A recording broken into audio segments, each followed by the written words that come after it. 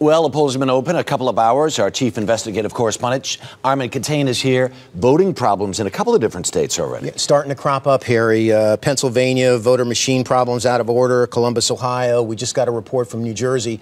But the leader in the clubhouse right now is definitely Virginia. We found out there have been at least almost 400 voter complaints to a hotline wow. in Virginia, 170 alone for the Norfolk area absentee ballot issues, machine malfunctions, no paper ballots as backups, polls not open in time. And this, as you well know, is a state that had some real issues in early voting. And this is a day early on, we're talking about potential record numbers. This is only to get it worse as the day goes on. I Absolutely. Anticipate. All right, I'm going to have more with you in just a bit.